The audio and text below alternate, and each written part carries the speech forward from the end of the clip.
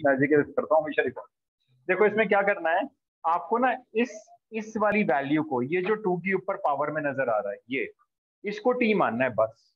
इतना याद रखना पड़ेगा इस क्वेश्चन के बारे में। ये जो पावर है आपकी two raise to the power two power x को आपने क्या मानना है? टी मानना है। अब टी मान तो लिया है तो डिफ्रेंशिएशन करना पड़ेगा।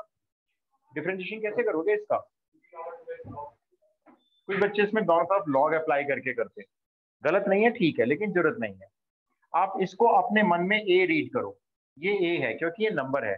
और यहाँ पे एक्स का कोई फ़ंक्शन है तो आप अपने मन में इसको एक्स रीड करोगे, पूरे एक्स को।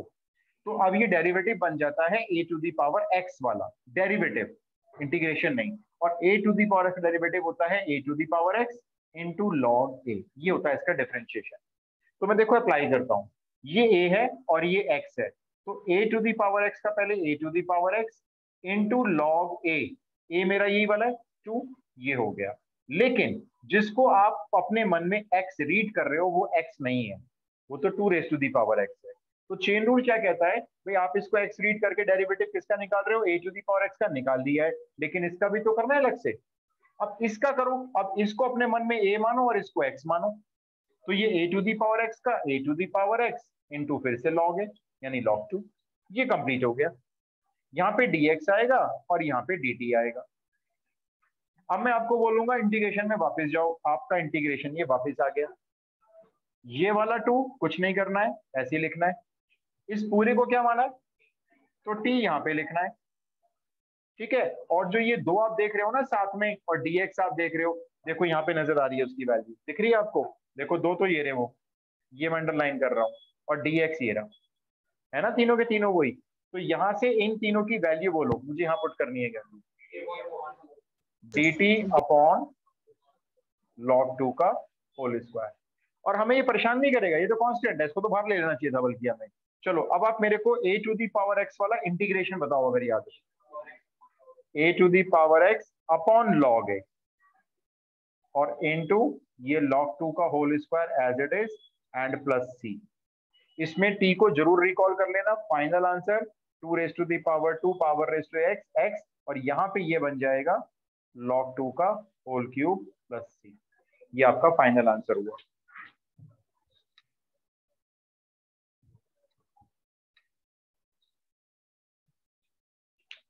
थोड़ा सा अलग हट के क्वेश्चन है, लेकिन एनसीआरटी की हैंडबुक में इसने प्रिंट की प्रिंट किया है। पता नहीं यार, कुछ कह रहे आएगी नहीं। कुछ ये भी कह रहे हैं कि इंटीग्रेशन नहीं आएगी। लेकिन हैंडबुक में है एनसीआरटी की जो बुक प्रोवाइडेड है, उसमें है तो इसलिए हम कर भी रहे हैं।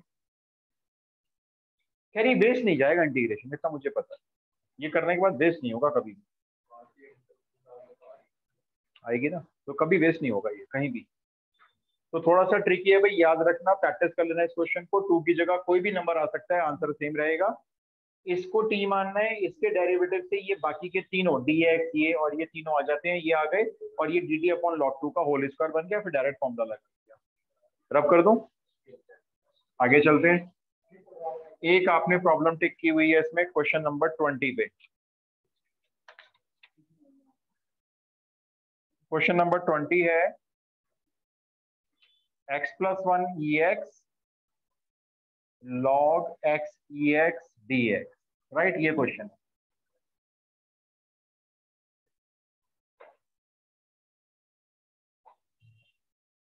इसको टी मानो ना? इसका डेरिवेटिव ये पड़ा हुआ है, देखो पूरा। देखो, x ई एक्स को t ले लिया। डिफ्रेंशिएशन कैसे करोगे इसका ये बताओ। सिर्फ़ कैसे करोगे बताओ, करना नहीं है प्रोडक्ट रूल से। आता है लगाना प्रोडक्ट रूल डिफ्रेंशिएशन का? पहले किसका करूँ? एक्स का करूँ या ई एक्स का करूँ? किसी का भी कर लो। एक्स का कर लिया चलो वन तो ई एक्स का नहीं किया। अभी प्लस लगाओ। अभी एक्स का मत करना। अभी एक्स का कर लो। ई एक्स का तो भाई ई एक्स ही रहता है। ब्रैकेट को यहीं पे क्लोज करो। यहाँ dx आएगा यहाँ डी टी आएगा। अब आप देखो इसमें से क्या कॉमन दिख रहा है। डेरिवेटिव तो हो गया है।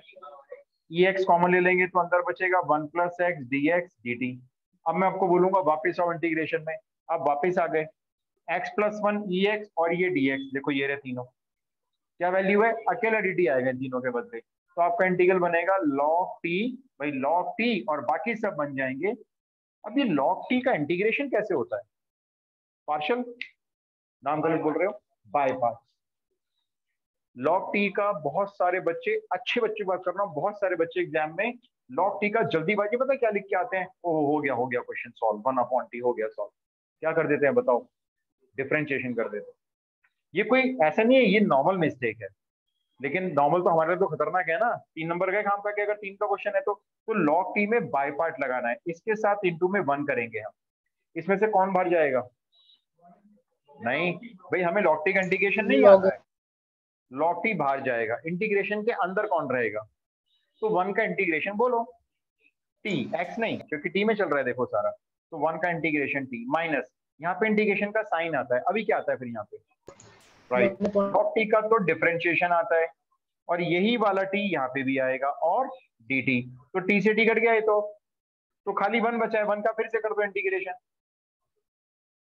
वन का टी हो गया एंड अब लास्ट में प्लस सी ये आपका आंसर है।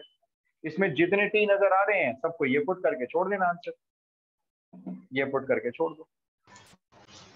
Okay sir answer 23rd question 23rd भी देखो भाई। ओके बस ये ऊपर का क्वेश्चन क्वेश्चन रब कर रहा हूँ। ऊपर है 2x dx ठीक है 2x के साथ dx है। नीचे है एक्स स्क्वायर प्लस वन और एक्स स्क्वायर प्लस टू एक बात बताओ, ये टू एक्स आपको नज़र आ रहा है डीएक्स के साथ? आ ही रहा है नज़र, उसमें क्या क्वेश्चन है? ये बताओ, ये किसका डेरिवेटिव है? और एक्स स्क्वायर नीचे दोनों ब्रैकेट में नज़र आ गया। लो जी काम बन गया। एक्स स्क्वायर को क्या करना है? डेरिवेटिव बोलो। वापस आओ इंटीग्रेशन में। बोलो इंटीग्रेशन में क्या लिखना है। ऊपर तो टी ऊपर तो कुछ नहीं। डिवाइड में बोलो अब। टी प्लस वन अब क्वेश्चन कौन सी फॉर्म में जा रहा है? अब ये पार्शियल फ्रैक्शन में जा रहा है। एक बार पार्शियल फ्रैक्शन का चक्कर फिर से समझ लेते हैं। पार्शियल फ्रैक्शन जब लगाते हैं तो डी नहीं लिखते हैं। खाली one upon t plus one और टी प्लस टू पहला पार्शियल फ्रैक्शन सिर्फ़ बोलो क्या लिखना है? A upon t plus one ठीक है? ए नहीं लिखना है आपको वो बच्चे लिखेंगे। अब आप थोड़ा सा मैच्योर हो गए। ए निकालने की ज़रूरत नहीं है। मतलब ए लिखने की ज़रूरत नहीं है। टी की वैल्यू माइनस वन इसमें से निकालो और इसमें पुट कर दो। ये माइनस वन प्लस टू कितना हो गया? वन हो गया ना? One upon t plus one upon t plus one पहला पार्शियल फ्रैक्शन अब टी की वैल्यू माइनस टू इसमें से निकालो और इसमें रख दो। माइनस वन तो ये माइनस वन लिखो। राइट ये लो। ये रेस के पार्शियल फ्रैक्शन फिर से सुनो। वो ए और बी बताया होगा ना वो कॉमन जनरल है। सब ऐसे ही बताते हैं मुझे मालूम है। हमें क्या सीखना है? इन दोनों को अलग करना सीखना है। ये जो फ्रैक्शंस होती हैं ये इसके पार्शली बनाई गई हैं। तो इनको पार्शियल फ्रैक्शन बोला जाता है। कैसे बनाना है? आपको इसको अलग करना है। तो इसको अलग कर लिया आपने ये रहा। इसके ऊपर वो नंबर ढूंढ रहे हो कि क्या लिखूं मैं यहाँ पे? टी प्लस वन के ऊपर वन आएगा टू आएगा थ्री आएगा, पता नहीं चल रहा है।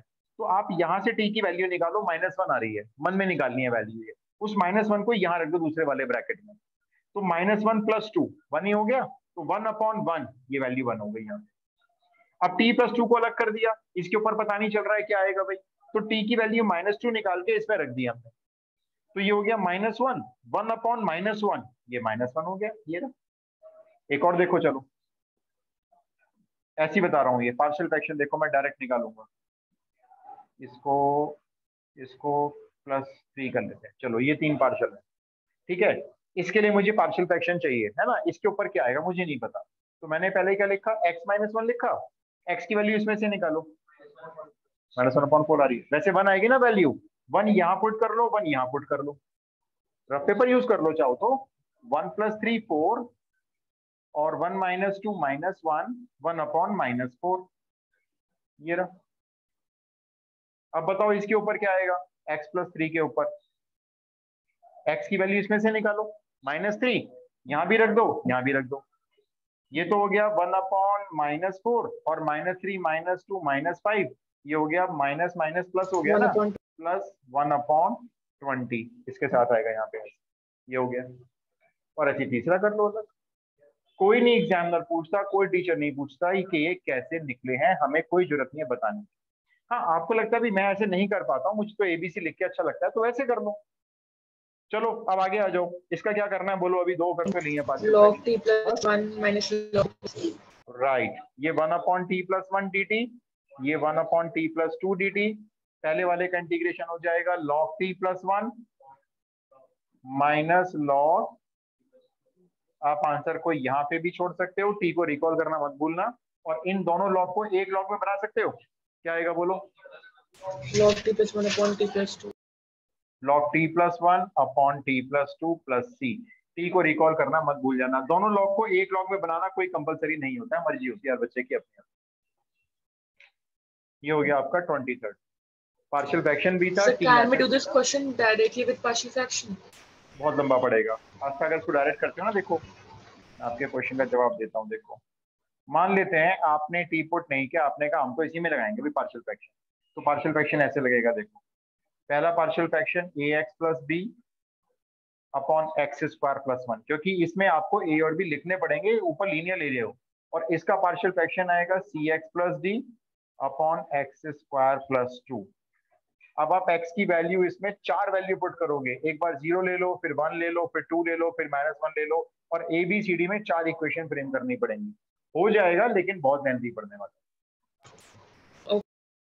ठीक है? तो बेटर वे तो यही है, छोटा भी है, देखो। हाँ जी, पूछो। अच्छा फ़ंक्शन है। अच्छा इसमें से नहीं है ना? इसमें नहीं है। बोलो।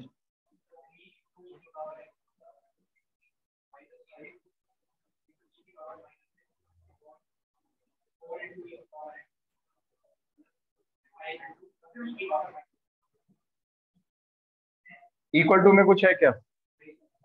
पक्का? ये क्वेश्चन ऐसे भी आता है, मैं आपको बताता हूँ। इक्वल टू में ना यहाँ पे आंसर लिखा हुआ होता है। ए लॉग ये प्लस बी इंटू ये प्लस सी ऐसे आंसर लिखा हुआ होता है। मैं बता रहा हूँ मतलब आपको। ये तो हम कर लेंगे इंटीग्रेट और फिर आपसे पूछते हैं ए की वैल्यू बताओ बी की वैल्यू बताओ। सी तो चलो कॉन्स्टेंट है। ये क्वेश्चन ऐसे भी आता है। तो ये जेई लेवल के क्वेश्चन होते हैं। लेकिन हम नॉर्मल वे में करेंगे। हमें तो जेई के बारे में कुछ पता नहीं। इसका डेरिवेटिव ऑब्वियस है ये नहीं है। आप चेक कर लो भाई। फोर ई एक्स का तो फोर ई एक्स होना चाहिए तो थ्री एक्स है। और यहाँ पे भी ये मैच तो कर रहा है बस ये फोर ई एक्स नहीं मैच कर रहा है। एक चीज़ मैच कर रही है एक मैच नहीं कर रही है। तो इसको फोर ई एक्स बना सकते हैं क्या? प्लस कर दो मैं इसमें एक ई एक्स प्लस माइनस कर दिया। इसमें एक ई एक्स प्लस कर दिया। इसको ऐसे ही रहने दिया। एक ई एक्स माइनस कर दिया। बैलेंस बना के चल रहे हैं। बेस को यहीं पे अलग अलग कर दिया।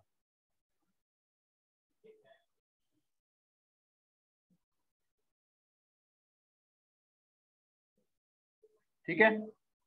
एक ई एक्स प्लस कर दिया। एक ई एक्स माइनस कर दिया। डेरिवेटिव बन गया। इसका आंसर मेरे को डायरेक्ट बोल दो। Log four e x plus five e minus x अब रह गया ये। इसमें इस ई एक्स को अपॉन में लाएँगे, क्योंकि ये माइनस पावर है है ना? तो जब ये अपॉन में आएगा तो फाइव के नीचे आ जाएगा, यहाँ पे।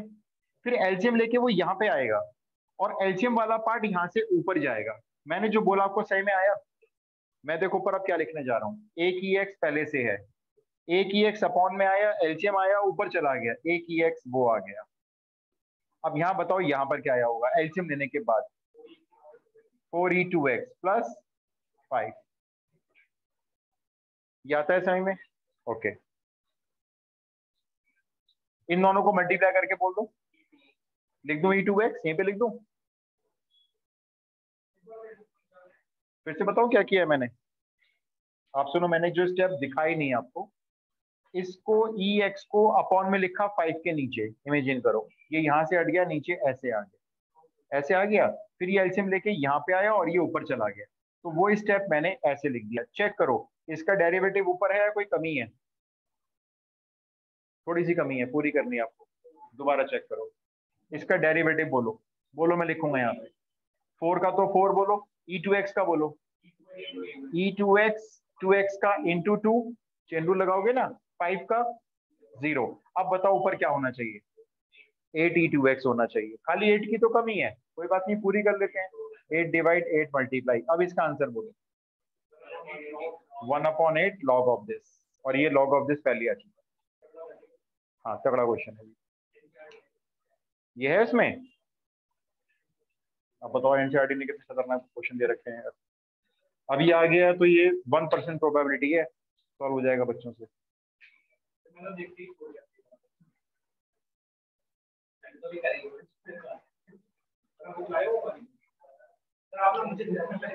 यार, मैं तुम्हें दूँगा लाके पता है, मैं वो गलती से है ना, बस एक बार बैग से निकल गई यार वो घर पे। और इतनी बड़ी मिस्टेक हो गई मुझसे यार वो।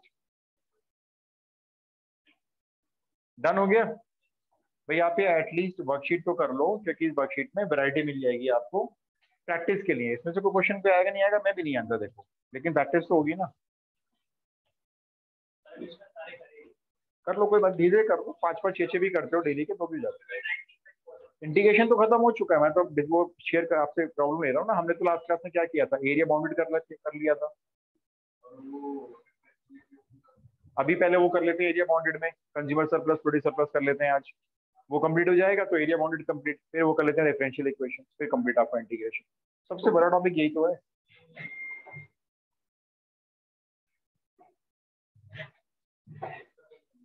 गया। चलिए जी।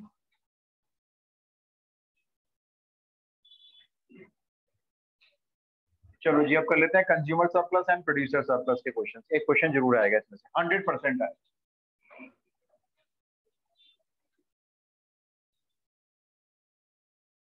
डिमांड कर। डिमांड कर, ध्यान रखेंगे, हमेशा एक डिक्रीजिंग कर्व होता है। कुछ इस तरह से।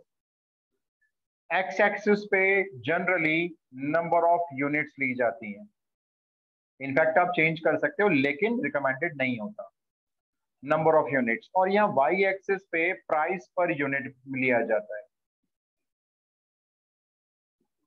डिक्रीजिंग क्यों है? क्यों घटता हुआ जा रहा है? जैसे जैसे प्राइस बढ़ता जाएगा जैसे जैसे प्राइस ऊपर जाता जाएगा नंबर ऑफ़ यूनिट्स ज़ीरो जैसे ये प्राइस कैसा है? यहाँ पर जैसे ही वर्टिकल एक्सिस पे डिमांड कर यहाँ कट कर रहा है। तो ये ऐसा प्राइस है किसी कॉमोडिटी का कि यहाँ पे कोई भी कस्टमर इस यूनिट को परचेज करने के लिए तैयार नहीं है। ये ऐसा प्राइस है। नंबर ऑफ़ यूनिट्स कितनी है? ज़ीरो है। जैसे जैसे प्राइस कम होता जा रहा है नंबर ऑफ़ यूनिट्स बढ़ती जा रही है कंज्यूमर सस्ता होने पर माल ज़्यादा खरीदने की कोशिश कर रहा है। इसलिए हमेशा जो होता है डिमांड कर डिक्रीजिंग होता है। ये ज़ीरो है और सपोज़ करो यहाँ पे मैंने परपेंडिकुलर ड्रॉप कर लिया है। ये मान लेते हैं आपका एक्स नॉट कर देते एक्स नॉट है। तो ज़ीरो से एक्स नॉट तक जितनी भी यूनिट्स खरीदी जाती हैं तो ये उनका प्राइस होता है। ये जो एरिया है, ये area price units from x to या ज़ीरो टू एक्स नॉट तो ये जितना एरिया होता है एक्स नॉट जितनी भी नंबर ऑफ़ यूनिट्स परचेज की गई हैं, ये पूरा एरिया उसका प्राइस होता है demand curve supply curve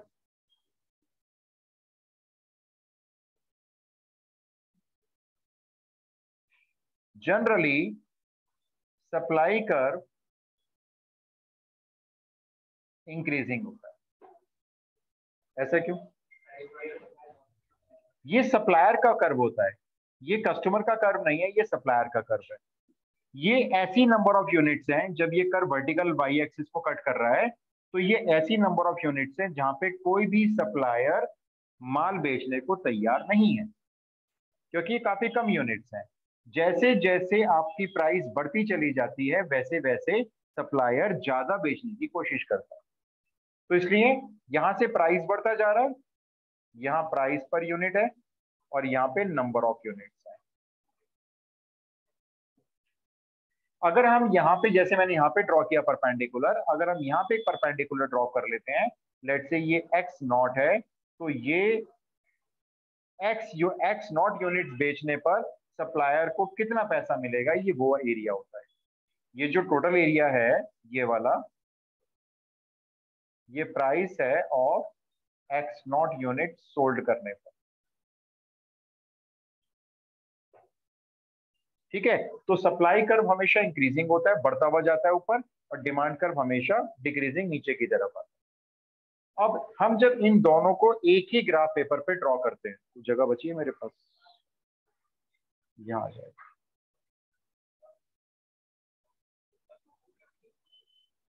ये आपका डिमांड कर्व हो गया?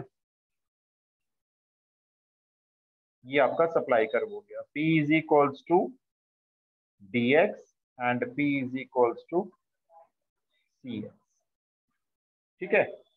सप्लाई एस सी एस लिख देता हूँ। ये दोनों कर्व जहाँ जिस पॉइंट पे कट करते हैं ये इक्विलिब्रियम पॉइंट होता है। इसको हम डिनोट करते हैं generally x e comma p e से। मतलब एक्स यूनिट्स इक्विलिब्रियम ये वो यूनिट्स हैं जहाँ पे सप्लायर अपना माल बेचने को तैयार है और इस प्राइस पे कस्टमर माल खरीदने को तैयार है। यहाँ से हमने एक परपेंडिकुलर नीचे ड्रॉप कर लिया तो ये एक्स ई पर मीट करेगा। एक परपेंडिकुलर हमने यहाँ से ड्रॉ कर लिया ये। तो ये यहाँ पे पीई यूनिट पर पीई पर कट करेगा। अब इस लाइन के, ये हॉरिजॉन्टल लाइन कहलाएगी इस लाइन के ऊपर का ये जितना भी एरिया है, ये कंज्यूमर सरप्लस है। ऐसा क्यों?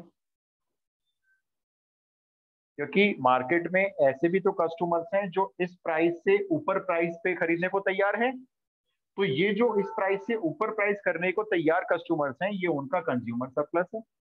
और इस प्राइस से नीचे के प्राइस पे माल बेचने को कुछ प्रोड्यूसर तैयार है, इस प्राइस से नीचे प्राइस पर। तो इसका मतलब ये जो है, ये वाला, ये है कंज्यूमर सरप्लस और जो नीचे वाला एरिया है, थोड़ा मैं इसको टिल्ट शेड कर देता हूँ, ये है आपका प्रोड्यूसर सरप्लस पीएस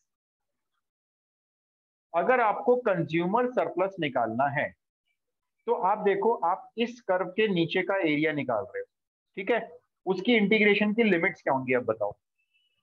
इस कर्व के नीचे का ये सारा एरिया चाहिए।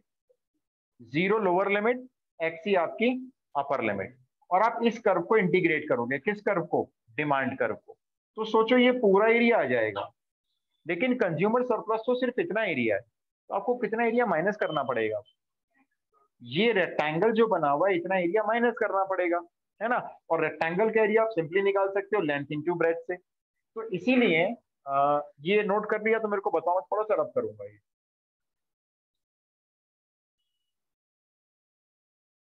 आस्था आदित्य जानवी जानवी बताओ।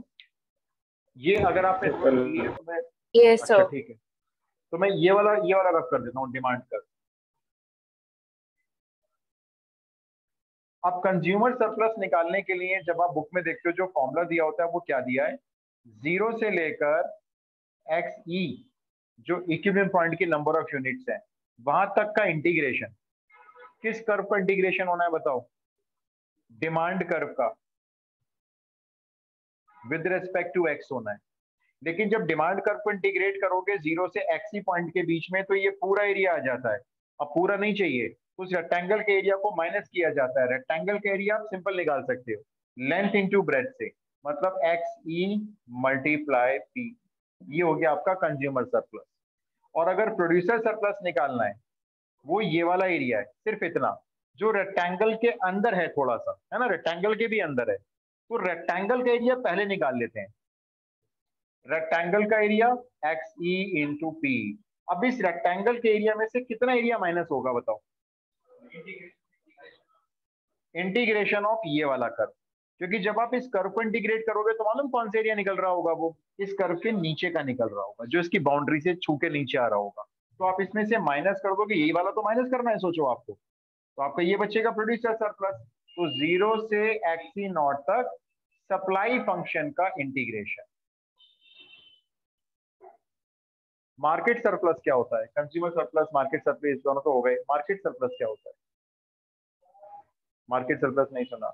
मार्केट सरप्लस कंज्यूमर सरप्लस और प्रोड्यूसर सरप्लस का सम होता है। लिख लो नॉलेज के लिए। कहीं पूछेगा तो ठीक है, नहीं तो कोई बात नहीं। Market surplus is equals to भाई मार्केट कितने सरप्लस में? मार्केट का मतलब है कंज्यूमर और प्रोड्यूसर दोनों। तो मार्केट सरप्लस में consumer surplus plus producer surplus दोनों को ऐड करके निकलेगा। मतलब ये कंप्लीट एरिया ये पूरा एरिया ये मार्केट सरप्लस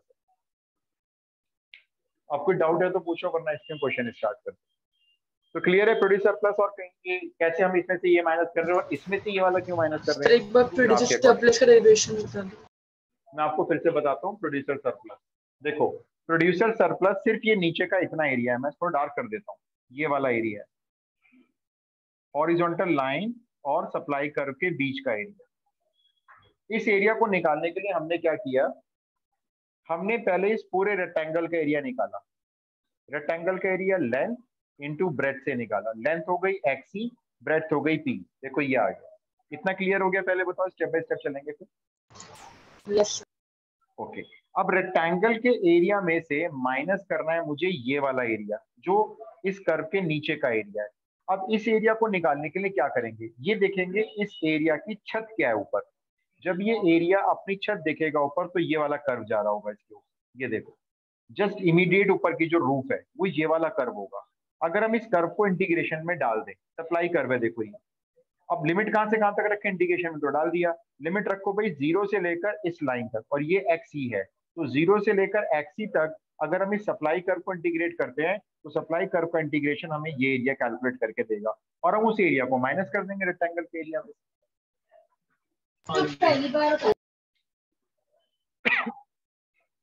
जानवी कुछ पूछ रहे हो बताओ।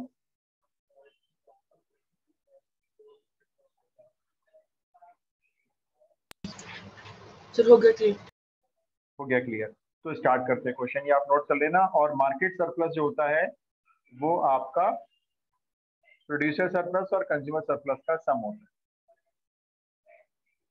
चलो जी। इसका क्वेश्चन ज़रूर आएगा। होपफुली तीन नंबर में आना चाहिए। दिया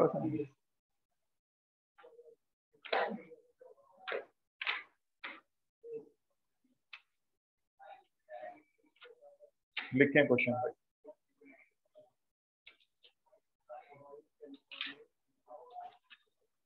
the demand and supply functions, the demand and supply functions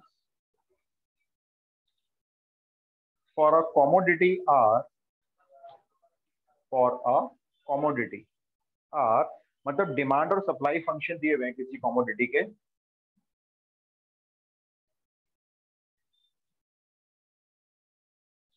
आप लिख लो डिमांड फ़ंक्शन है p is equals to small p है।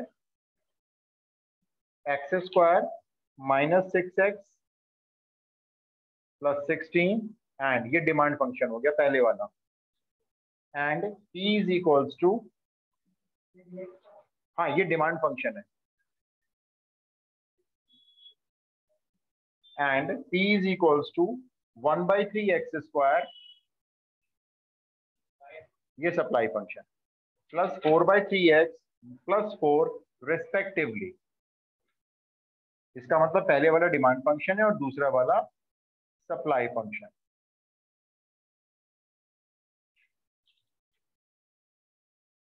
find find each of the following assuming find each of the following assuming x less than और equals to five मतलब जो x की value है, वो पाँच या पाँच से कम रखनी। तो इक्विलिब्रियम पॉइंट दे दिया उन्होंने हमें। अब आप लिख लो find number one the equilibrium point नहीं, इसका मतलब इक्विलिब्रियम पॉइंट नहीं है, वो तो आपको निकालना पड़ेगा। हाँ ये नंबर ऑफ़ पाँच यूनिट तक मैक्सिमम खरीदी या बेची जा सकती है, जो भी कॉमोडिटी है। तो एक तो आपको निकालना है पहले इक्विलिब्रियम पॉइंट एक्सी और पी की वैल्यू दूसरा consumer surplus at equilibrium point तीसरा producer surplus at equilibrium point तो आप पहला पार्ट सॉल्व करो क्योंकि पहला पार्ट सॉल्व होगा तभी बाकी के दो सॉल्व होंगे। क्या करना है बताओ इक्विलिब्रियम पॉइंट के लिए? सप्लाई और डिमांड फ़ंक्शन इक्वल होने चाहिए तो इक्वल टू सप्लाई आस्था फिर से बोलना बेटा मैं समझ नहीं पाया। सर ऐसे demand function equal to supply function yes बिल्कुल। डिमांड फ़ंक्शन सप्लाई फ़ंक्शन को इक्वेट कर दो। मतलब ये और ये इक्वेट करके मुझे फटाफट से एक्स की वैल्यू निकाल के दिखा दो। थोड़ी सी जबरा बनेगी क्वाड्रेटिक बन सकती है। टू और नाइन तो नाइन तो रिजेक्ट हो गया, पाँच सौ को लेना नहीं है तो टू हो गई फिर तो।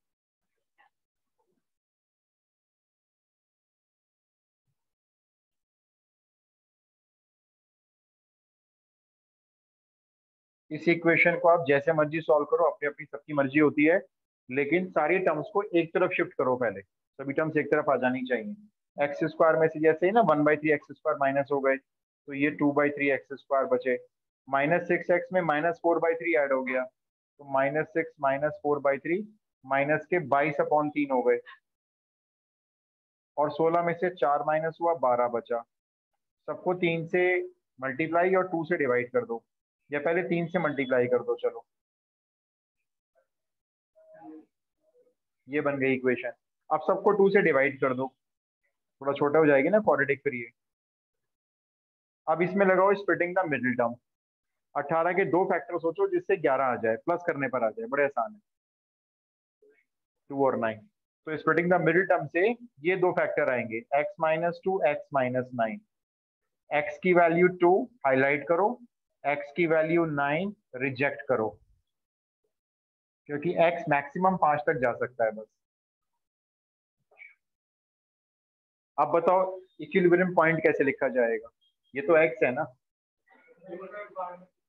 यहाँ पुट कर सकते हो, यहाँ भी कर सकते हो, दोनों जगह से प्राइस सेम आएगा। तभी तो बोलेंगे इक्विलिब्रियम पॉइंट तो यहाँ पुट कर लो। कंज्यूमर सरप्लस आपका क्या आ रहा है? यही आ रहा है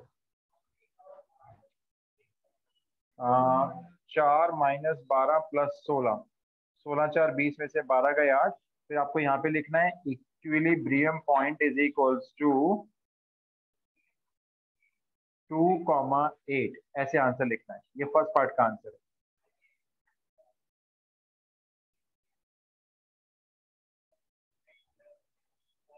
तो पहले तो फ़र्स्ट पार्ट में तो इक्विलिब्रियम पॉइंट कैलकुलेट किया। एक्स की वैल्यू कहीं भी पुट कर सकते हो। यहाँ भी कर सकते हो, यहाँ भी कर सकते हो, दोनों जगह से प्राइस सेम आएगा नाइन को रिजेक्ट किया क्योंकि क्वेश्चन में मेंशन है एक्स मैक्सिमम पाँच वैल्यू हो सकती है। शुभम कंज्यूमर सरप्लस का इंटीग्रेशन बोलो जरा। हाँ उस इंटीग्रेशन बनेगा ना उसके लिए तो एक। बोलो। नहीं नहीं, पहले इंटीग्रेशन के अंदर क्या है, पहले बोलो। मतलब लिमिट बोलो पहले तो फिर यहाँ बोलो क्या लिखना है। ज़ीरो से टू।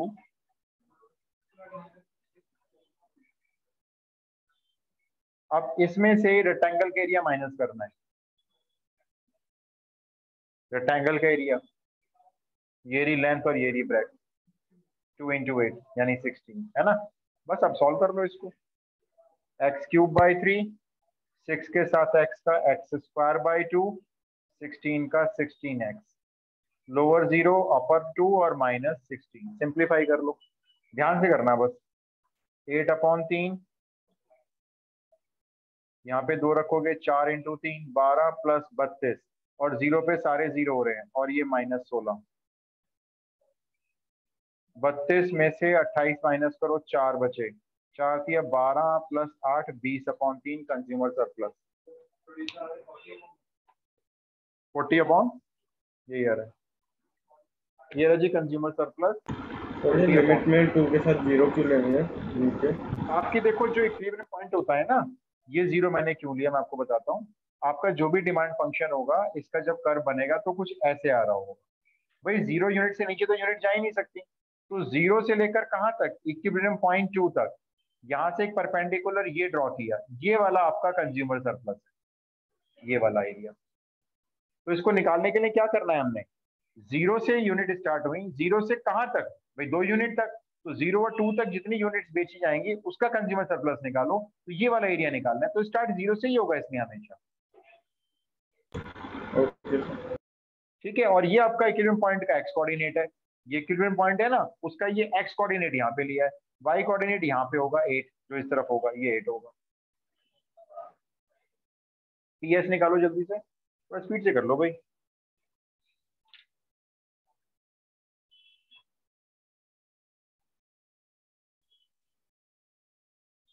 ये जैसे बीस अपॉन तीन लिखा है इसकी यूनिट्स क्या होंगे या कुछ होंगे या नहीं होंगी?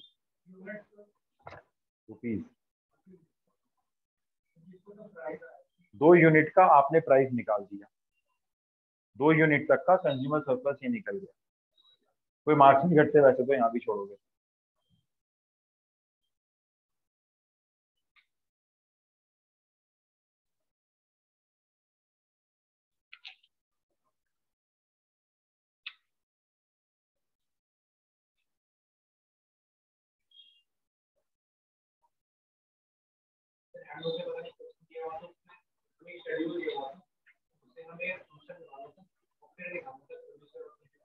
अच्छा हाँ वो है क्वेश्चन वो जेके ठकराल बुक में भी है। ठीक है बार लेके आऊँगा, कराता हूँ क्वेश्चन पहले फ़ंक्शन बनेगा उसमें।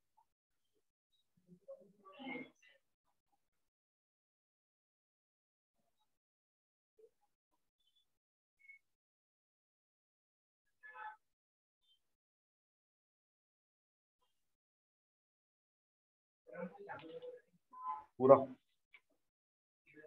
सारे। हम्म। हाँ हाँ। कुछ मिनट बहुत टाइम है यार। टाइम बहुत है। ज़्यादा है भी। तो what's the answer for the third part? Producer surplus तो twenty upon sorry consumer surplus तो आ रहा है ट्वेंटी अपॉन थ्री और प्रोड्यूसर सरप्लस आ रहा है चालीस upon nine forty upon nine बोलो आ रहा है या नहीं आ रहा?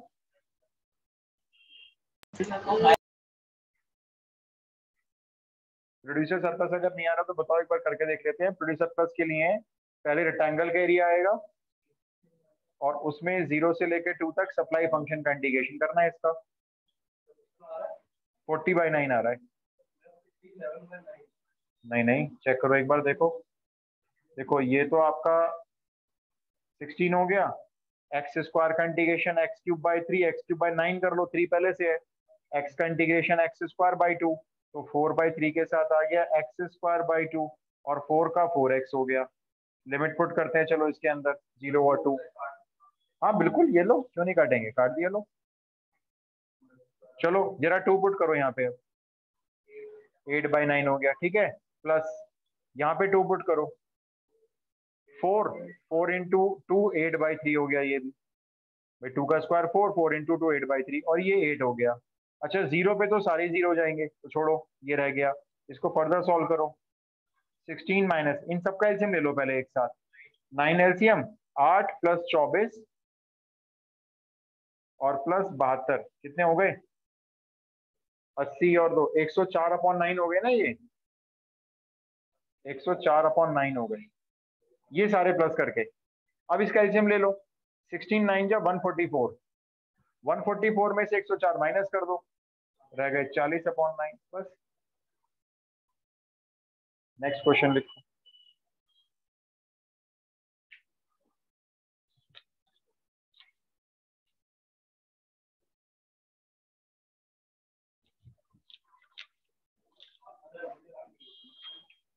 हाँ बस वो बचेगा डिग्री रेट और वो डिफरेंशियल इक्वेशन क्वेश्चन लिखो।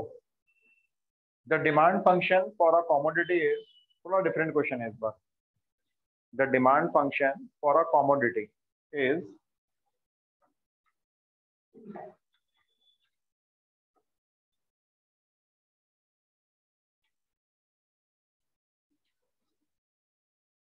demand function है किसी कॉमोडिटी का लिख लेना है स्मॉल पी से डिनोट करना है।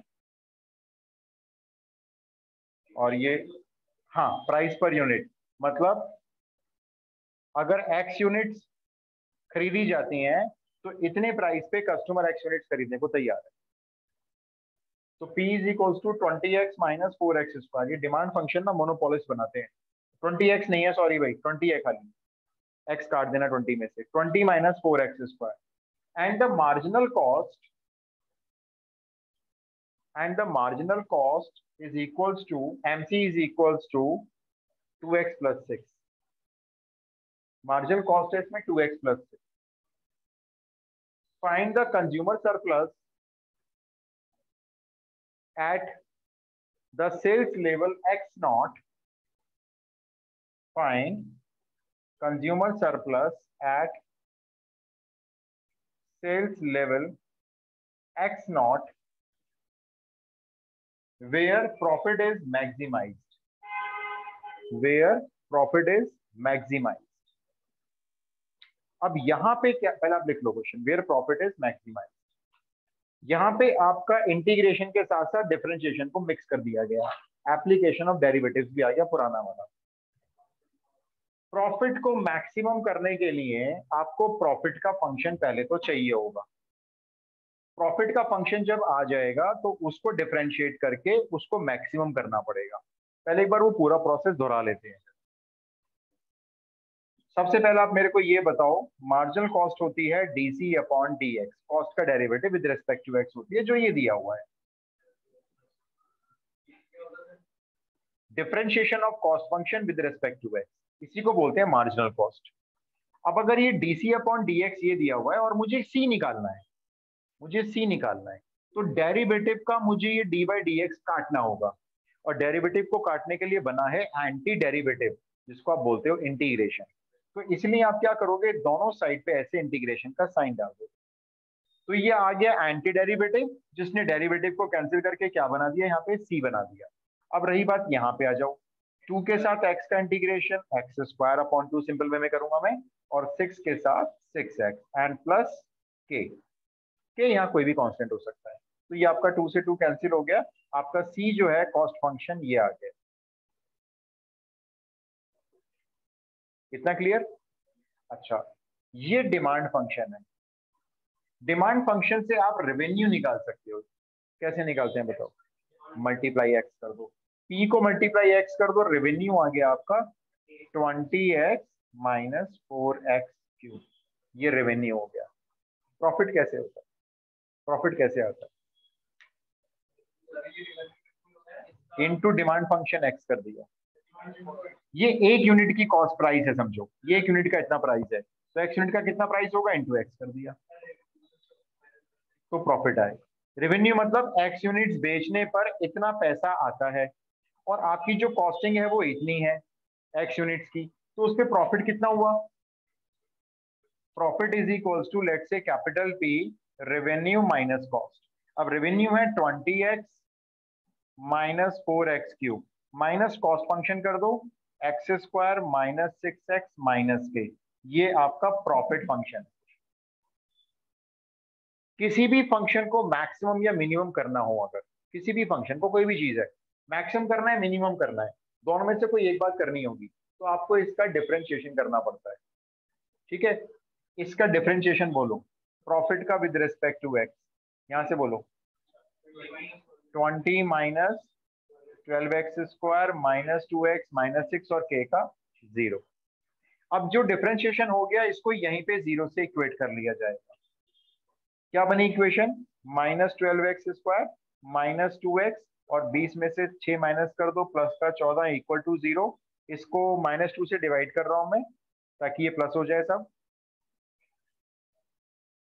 ये फिर से बन गई है quadratic equation splitting the middle term सात और छह को मल्टीप्लाई करके एक लाना है। आ जाएगा सात और छह से हो जाएँगे फैक्टर्स अच्छा प्लस का एक्स चाहिए तो minus six x plus seven x ये स्प्लिट हो गई मिडिल टर्म एक फैक्टर आएगा इसका सिक्स एक्स कॉमन ले लो x minus one seven common ले लो एक्स माइनस वन अब एक्स की वैल्यू आएगी एक तो वन हाईलाइट करो, और एक वैल्यू आएगी minus seven by six reject हो गई।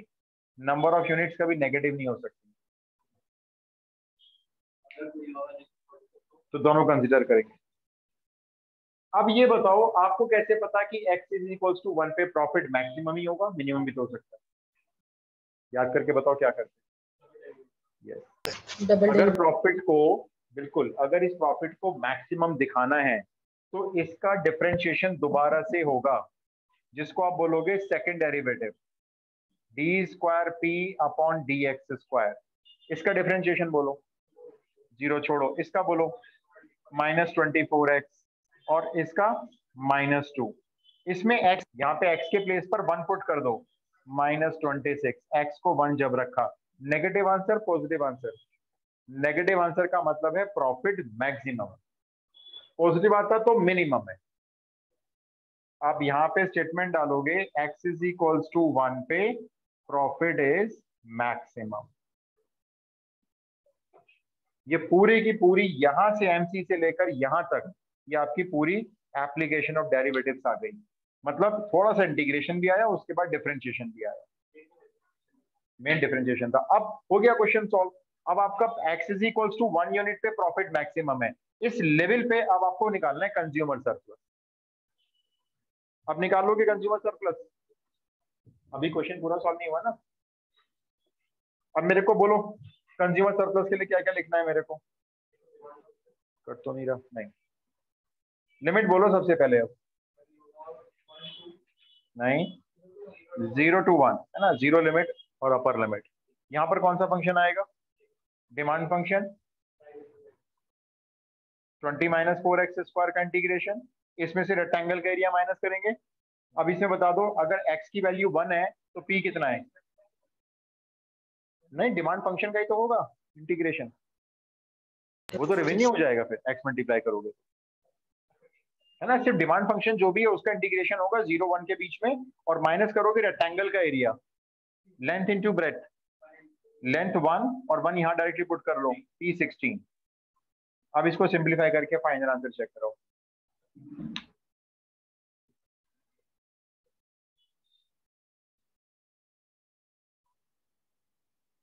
कंज्यूमर सरप्लस निकालने के लिए उस लेवल तक पहुँचना पड़ा जिस लेवल पे प्रॉफिट मैक्सिमम था। और प्रॉफिट को मैक्सिमम करने के लिए मार्जिनल कॉस्ट से कॉस्ट निकाली गई और डिमांड फ़ंक्शन को इनटू एक्स करके रेवेन्यू निकाला गया। Sir 8 by 3 eight by three रुक जाओ भाई दो आंसर हो गए। तुम्हारा क्या रहा है यश? अपॉन थ्री एक बार फिर अजय तुम चेक करो। दो बच्चों का एट अपॉन थ्री आ रहा है। रुको मैं चेक कर लेता हूँ। एट अपॉन थ्री आ रहा है भाई। आंसर इसका एट अपॉन थ्री आ रहा है। सर आपने यहाँ पे प्रॉफिट का मैक्सिमम किया। है मैं बताता हूँ। मैंने ना ये क्वेश्चन में आपको बोला था फिर से सुनो मेरी क्वेश्चन की language suppose that the demand function is given by this ठीक है मैंने ये बोला था। And the margin cost MC is given by this फिर मैंने बोला था वेयर एक्स चलो तो x number find the consumer surplus consumer surplus निकालने को बोला था मैंने। At the sales level x not x not sales level पे आपको कंज्यूमर सरप्लस निकालना है वेयर प्रॉफिट इज़ मैक्सिमाइज जहाँ पे प्रॉफिट मैक्सिमम हो, उतनी यूनिट्स पे जाके कंज्यूमर सरप्लस निकालना था। तो इसलिए हमें प्रॉफिट को मैक्सिमम करना पड़ेगा इस प्रोसेस से। Got it?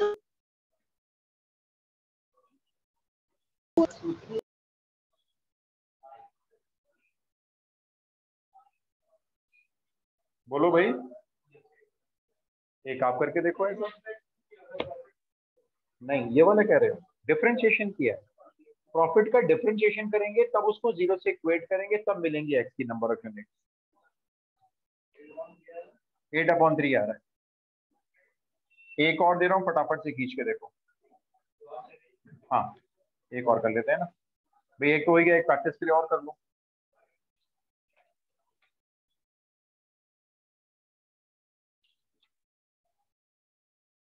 डिमांड फ़ंक्शन लिख लो, P is equals to forty five minus x square ठीक है, ये डिमांड फ़ंक्शन हो गया। ये मैं बाकी सारा रब कर देता हूँ। रब कर दू ना पहले वाला। ये किसी की पैंट फाड़ दी इन्होंने, देखो।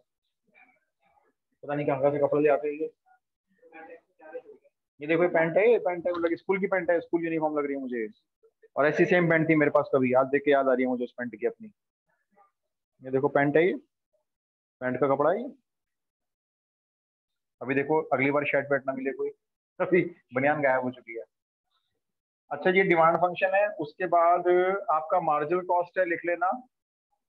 One by four x square plus six ठीक है? ये मार्जिनल कॉस्ट है। और आपको बताना है इसमें consumer surplus at sales level X, consumer surplus question mark at sales level X, where profit is maximum. तो देखो सेम क्वेश्चन हो गया ना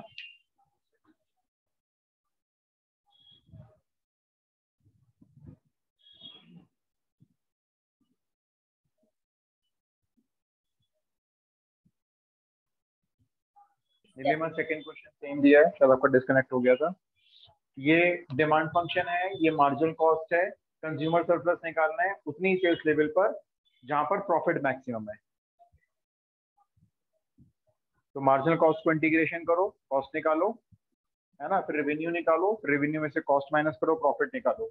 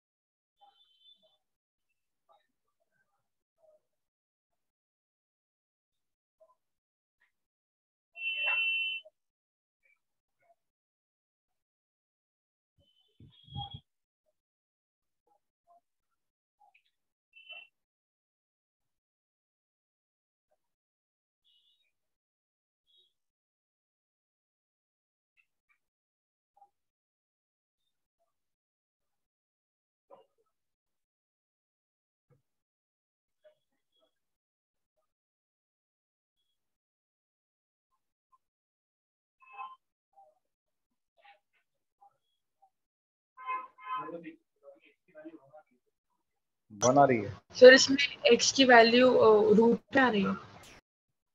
ये रूट में आ रही है। X की वैल्यू टू रूट थ्री आ रही है। और रूट थ्री की वैल्यू पुट कर लेना वन पॉइंट सेवन थ्री तो x की वैल्यू हो जाएगी three point five three point five use कर रहे हैं तो।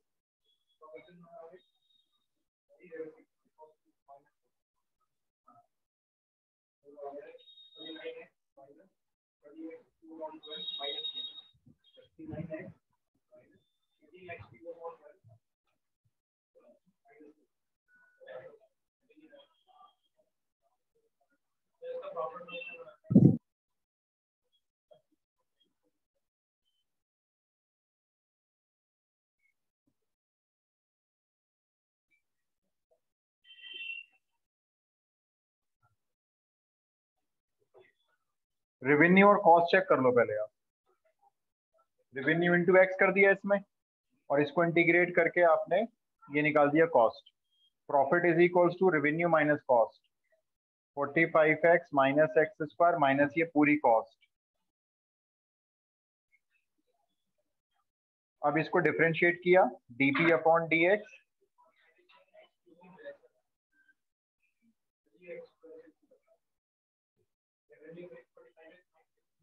sorry ये एक्स क्यूब है। ये एक्स क्यूब है तो इसका डेरिवेटिव यहाँ पे हो जाएगा थ्री एक्स स्क्वायर और ये भी एक्स क्यूब का three x square upon twelve minus six differentiation किया है प्रॉफिट निकाल के उसका। अब इसको यहीं पे रख देते हैं ज़ीरो के इक्वल तो ये आपका कैंसिल हो गया तीन से चार। ये हो गए चार तिया बारह और एक। माइनस के तेरह एक्स स्क्वायर अपॉन फोर और और और और। पैंतालीस में से छः माइनस करना भी कितने बचते हैं? थर्टी नाइन, उधर जाके हो गए माइनस थर्टी नाइन। तो माइनस माइनस कैंसिल चार, तेरह से कैंसिल तीन बार। एक्स स्क्वायर आया बारह एक्स आया टू रूट थ्री माइनस में लेने की ज़रूरत ही नहीं एक्स की वैल्यू नेगेटिव तो होगी नहीं। ये आ रहा है एक्स टू रूट थ्री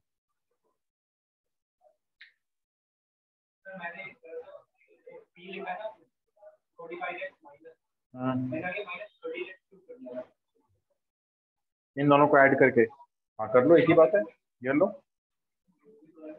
ये हो जाएगा ट्वेल्व और minus thirteen x cube upon twelve, यही कह रहे हो ना? और माइनस सिक्स एक्स माइनस के, आप कर लो डिफ्रेंशिएशन।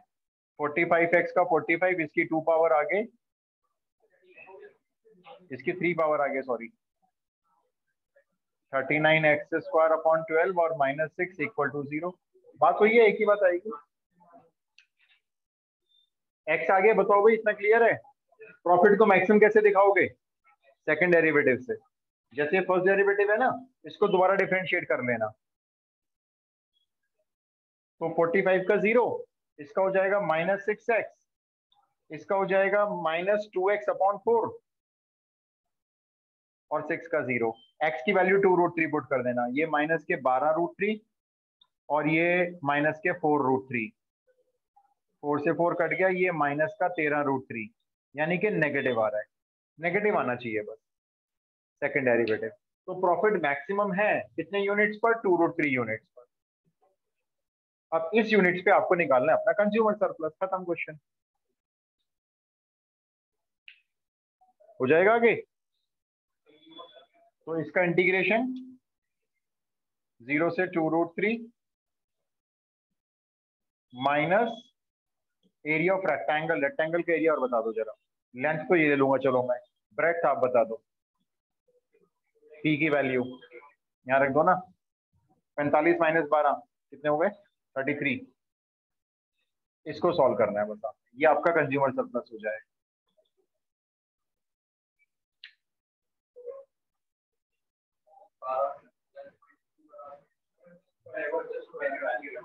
यहाँ पे एक्सपोर्ट करके पी निकालोगे ना? ये पॉइंट होता है ना equilibrium point x not p not ये वो हो गया ना। चलो जी। वैसे तो ऑलमोस्ट हो गया। देख लेंगे निकाल डिफरेंशियल इक्वेशन स्टार्ट कर